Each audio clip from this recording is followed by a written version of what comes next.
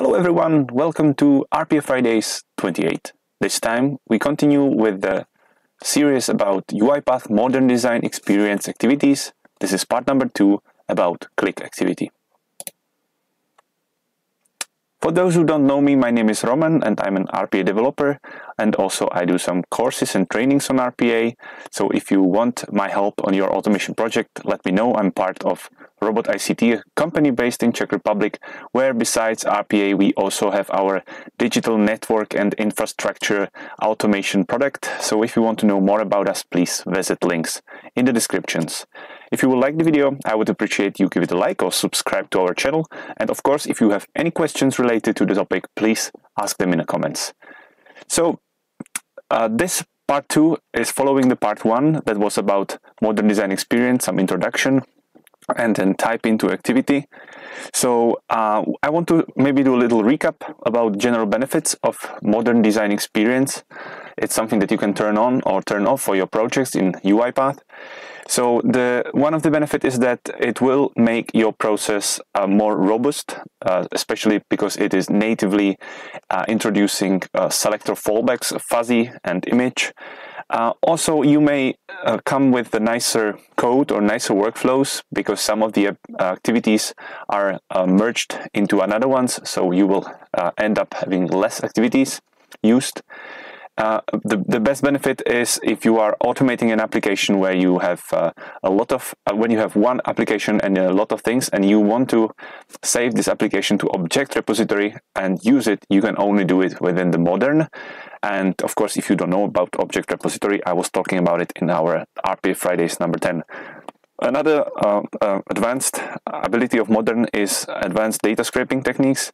So there are some improvements, technical and of course enhanced UI Explorer or maybe a target indicator. The UI Explorer is still the same, but when you are indicating new um, uh, the, the, element that you want to click or work with, it's it's improved, and also improved uh, recorder. So many more things. But let's also talk about the general drawbacks. Well, the biggest one is that if you want to switch to modern and you were just till now using classic, then now you have to learn new things. And that's that can be a little bit painful right? It's a learning process. It will feel different. It will be um, something new.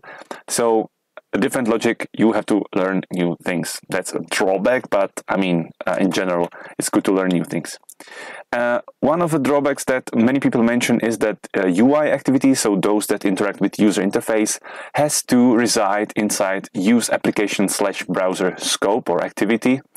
Uh, so they cannot go standalone. You cannot have standalone click in the middle of somewhere.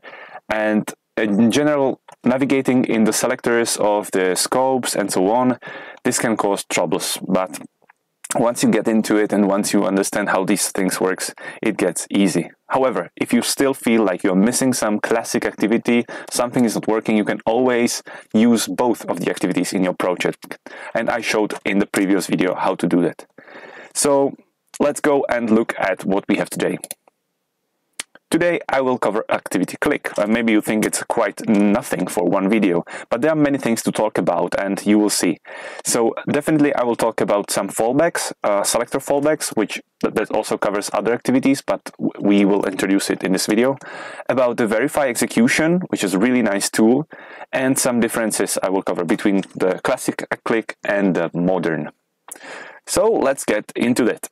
So as I said, one of the main difference between the classic and modern is that the click activity has to be used within the use application slash browser scope. Uh, that's from the previous video. This is where we ended. So I'm just uh, doing a little follow-up on this one here and the activity is already in place. I indicated our website and now I will be showing you the click activity. So let's put the click activity in. Click this one there you go. And let's indicate some element to click on. So once I click the indicate in, I will have a whole new target indicator here for me. A little window is telling us that we can use F4 to try changing detection framework. That could be uh, useful if you struggle to find a good selector. F2 classic for pause the configuration and also other options that you are probably familiar with. Only the design looks a little bit different. So let's click to indicate the element. use cases.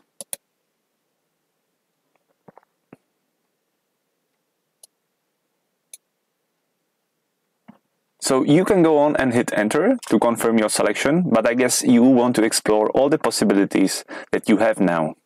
If you move your mouse around now and click on something, this will indicate a new anchor for your element. If you feel like your element is some empty input field or something that repeats and will need an anchor, you can indicate an anchor.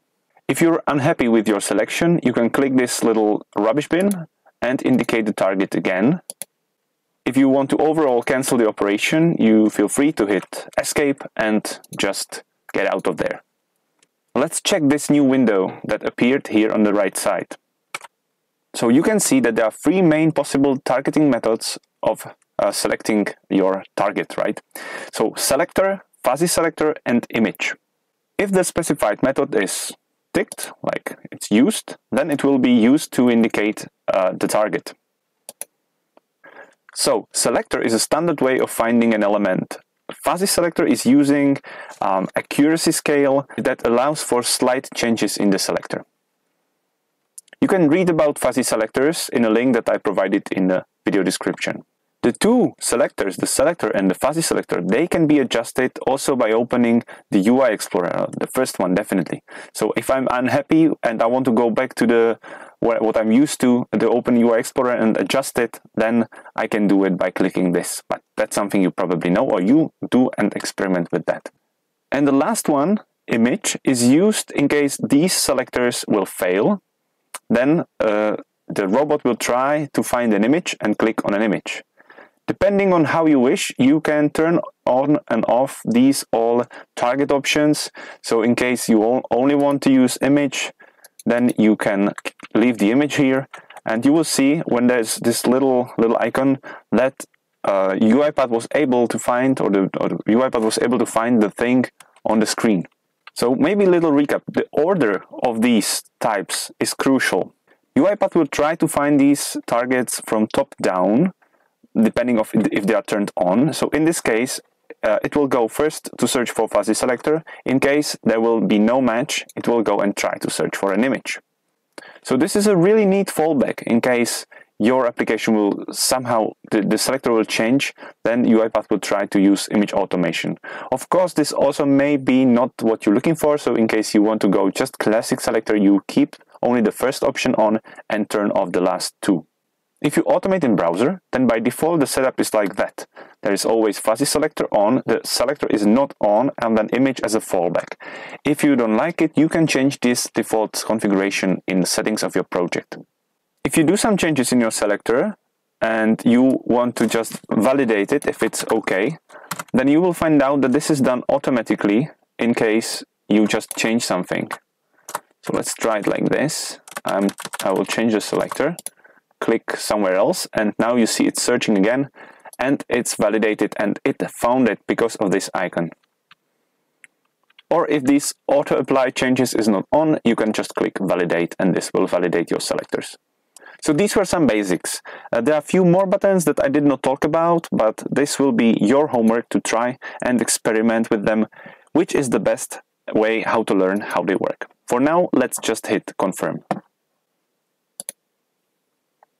There we go, a click activity with the target specified. Now if you hit the hamburger menu, how I call it, you will also notice differences. Using edit target we'll open the target indication tool, the thing that we just were working with. And with modern activities, you can also benefit of object repository. And also here we have the option to add this element to object repository. One cool option here is add verification. Uh, we will talk about it a little bit later. So let's go over the properties. So the whole section called common, which has quite self-explanatory names, is not bringing any major improvements. The only interesting difference is that timeout is now uh, counted in seconds, not in milliseconds. So uh, be aware of that. The next section is input. The click type and mouse button define what kind of click you want to use. Cursor motion type uh, sets if you want your cursor to move instantly or to mimic human and go in a smooth move. Go ahead and try that, it's pretty funny. The subsection target contains these. Click offset, this is probably something that you are familiar with.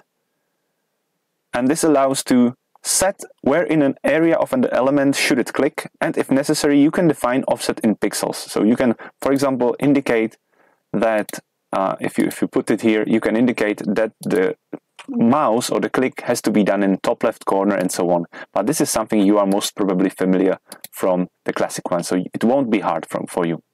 We can see selector and fuzzy selector there and that is where you can also check them. You can edit them in expression editor or the selector in the uh, selector editor. So, so as I say, in the old style. What is this native text? Native text is used for some legacy apps where classic selectors don't work. And that's all I know. If you tick the responsive website checkbox on, your anchor is set to left from the element will be also searched from top of the element. I'm not sure if I would ever use it, but it may come handy one day. So the targeting methods allow you to set on and off some of the methods. So that was the same that we did in the target indication. Wait for page load is also not a new thing. You can set to wait for the page to fully load and only after that execute the click activity or also you can set it otherwise. Where it comes to be interesting is this window selector. By default, it is the copy of your app slash browser activity selector, but you can hack the activity to work with totally other window by changing this selector. When it can come handy, so let's say you automate some process where you click on a lot of buttons and in one moment some pop-up will appear and that pop-up is coming from a different application. If you try to indicate, you may get a pop-up that the indicated element does not belong to the target browser or target application. It is because it does not belong under the browser app scope that you work in. So instead of having one new use application slash browser scope to just perform this one click, you can do that, of course. Uh, you can set up first the window selector and then the selector that you want to click on but not using the targeting indication tool, rather opening the selector editor from properties and selector. So if you want to, you can change this one and then you can follow up and change this one selector. And this will totally hack the, the scope that you're working in. Let's call it a workaround. So the super next cool thing to check out is the verify execution thing. And you can activate it from the hamburger menu when you click add verification. So to verify that the click was successful, I need to go where I'm supposed to go. So I click use cases and then here in the hamburger menu or here, I will indicate the verification target. So I'm indicating something that I expect to be on the screen whilst this is done. So let's, let's take this header for an example. Again, you can play around with the selector, with the target, with anchor and so on. I will go on and click confirm. So now the whole bunch of new stuff appeared here in properties in verify execution. You see it's coming longer and longer. Uh, most of them we know. If I open also the target section, uh, it's again the same copy like for the original target. So this is like a verify target. Some most of it we know, so maybe I can just collapse this one. But what is interesting is this retry. So in case the click will not bring uh, the state of the app to the desired place and the, the, the, verification selector won't be found. You can turn this on and the robot will try to click again to the same place and check till the timeout is gone uh, and check if this happened. So sometimes if you feel like sometimes the robot is uh, not clicking where it should and sometimes you, it clicks but it doesn't click and maybe it will be enough just to click once more this is a cool thing and you can just turn it on like this. You can also specify if you can, uh, if to verify if the element appeared or disappeared or if uh, text changed or it visually changed and so on. So some of the other options that we can uh, check. So and this is where it comes to the end. So let's not forget about the last properties. The input and output element of course allows you to store it the element as a variable or reuse some of the element that you stored in the different activities that is already in the variable of UI element. And the options are also to define the input mode. So in the previous video, I was talking about that you can set for all the activities within the scope one input mode, like hardware events, that means normal ones, then simulate, simulate click or simulate type, or Windows messages. And there are also some other options here. So if I want to bypass the settings of the scope, I can do it here. Also, by the way, and that goes also for the use browser, there is a new option to set the input mode for Chromium API. But maybe this is for you to self-study a little bit, or maybe for a next video. So that was Click. Quite a lot of information of one single activity, right? But I hope you learned something new. If you do have any questions, please type them in a comment and I will answer them. So once again, thank you for watching, thank you for your attention. All the necessary related info should be under the video description. Please come uh, check the other links also. We have a nice community forum where you can also ask questions in case you are in doubts and maybe in case on the UiPath forum nobody is answering your questions. That can happen. And you can sign up to RPA Fridays to get every time an email if there is a new video so you will never miss anything new. We also are on LinkedIn, Facebook, so please, if you love it, go and support it.